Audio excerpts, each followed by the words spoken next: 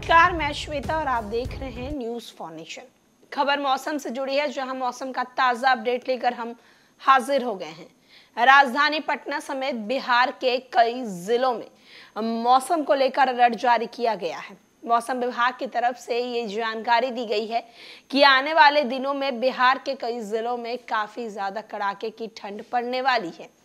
यहाँ तक कि शीत लहर को लेकर भी मौसम विभाग ने अलर्ट जारी किया है।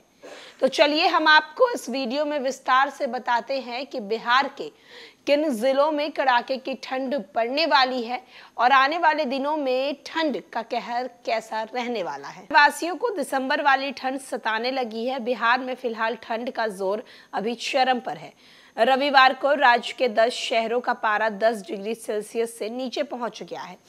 अगर हम बात पटना करें तो पटना समेत तेईस शहरों के न्यूनतम तापमान में गिरावट दर्ज की गई है। मौसम विभाग के पूर्वानुमान के अनुसार अगले सात दिनों तक लोगों को ठंड में राहत नहीं मिलने वाली है। इसके बाद 24 दिसंबर से ठंड में हल्की कमी आएगी। मौसम विज्ञान केंद्र के अनुसार राज्य के उत्तर पश्चिमी हवाओं का प्रभाव सतह से पाँच दशमलव आठ किलोमीटर ऊपर तक बना हुआ है।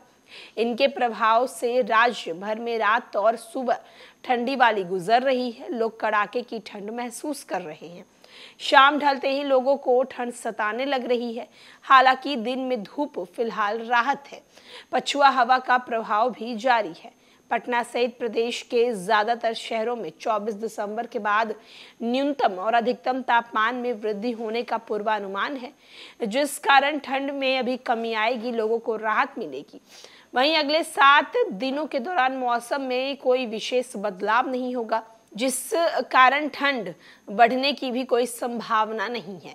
इस मौसम का सबसे कम न्यूनतम तापमान छः दशमलव पाँच डिग्री सेल्सियस सबौर में शनिवार को दर्ज किया गया।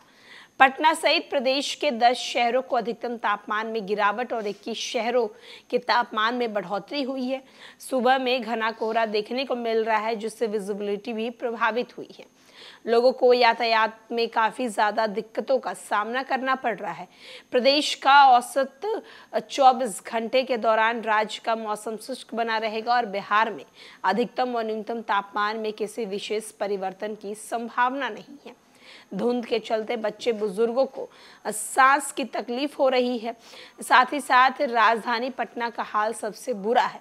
वायु की अगर हम गुणवत्ता की बात करें तो लगातार कई दिनों से 400 से ऊपर पहुँच गया है। गया, पूर्णिया, अररिया, भागलपुर, आरा, मुजफ्फरपुर का भी एक यू आई तीन सौ से पार है। सोमवार को प्रदेश के अधिकांश शहरों में सुबह के समय हल्के से मध्य स्तर के कोहरे छाने के पूर्वानुमान बताए गए हैं। मौसम विभाग की तरफ़ से ये जानकारी दी गई है कि 24 दिसंबर के बाद मौसम में थोड़ी राहत देखने को मिलेगी, लेकिन फ़िलहाल ठंड का कहर ऐसे ही बरपता हुआ नज़र आएगा।